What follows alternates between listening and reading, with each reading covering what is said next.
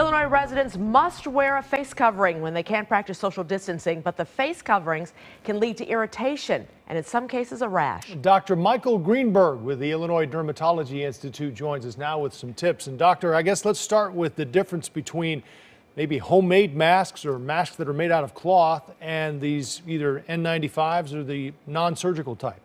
Well, most people aren't wearing N95s. We don't get them in the office. They actually belong in the intensive care unit or uh, down in the emergent in the ER. But people are getting these kind of masks, this kind of stuff. Right. And I made one up here to tell you, I'm here for you. take me off sometime because you trap all the moisture and saliva next to your face. And in my office, we've been seeing patients with rashes. I see people actually walking down the street with nobody 100 feet around them wearing their mask. That's ridiculous. Take it off. It's okay. Give so, your face a rest. Well, we've seen tons of pictures of folks, you know, our, our healthcare workers who are wearing them. When they take it off, they've got rashes, bruises, and the whole thing.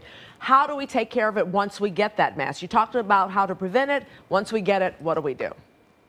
Well, what you do is you want to use a gentle cleanser and moisturizer. There's a product called Cetaphil Cleanser, which is easily available in the drugstore, and CeraVe moisturizers. If you really get some some problems, you can use Vaseline.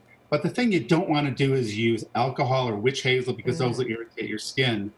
It, it, actually, this is like a diaper rash. You can even use Desitin diaper, maximum strength diaper cream, if you're really getting a problem. But those are the N95s. I'm talking about the average person who's walking around with one of these um, and wearing it all day long traps saliva. And what I have seen that really scares me is people taking old prescription creams from past visits to doctors and using them on their face and causing even worse problems. Mm. People use anti cancer medication um, or things that are, are, making it worse. So, um, if you really, you can go to the store and you can buy simple moisturizers. You can even buy 1% hydrocortisone cream, which is available without a prescription. Mm. If that doesn't work, call your doctor or is, call your dermatologist. Right. Is there another thing to consider with the laundry detergent you're using if you have a homemade mask that you're washing?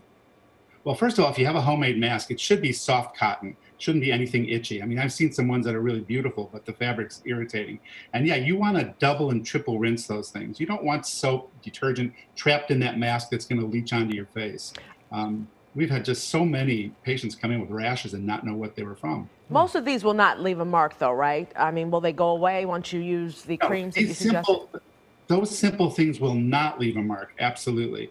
Um, but you don't want to end up with, uh, for instance, what we call perioral dermatitis on your face, which is like acne, which could leave some permanent marks. So you got to give breathing time when you're home, when you're walking out alone. Take it off, you know. Hmm. Are you running? Are you running into uh, patients who are having other issues as a result of this uh, quarantine? Oh, absolutely. I mean, I have patients and myself whose hands are just irritated from hand sanitizer and overwashing. Right. I, I, go through gallons of it a day.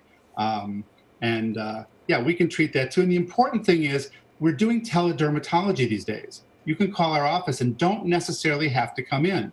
We can treat some of these mild things over an iPhone or a telephone or Zoom. So, you know, we're, we're here for you and we don't want you to get infections when your skin breaks down on your hands or on your face. There's no reason to be uncomfortable. But like with these masks, give them a rest, hmm. you know, especially when, when there's no one around you.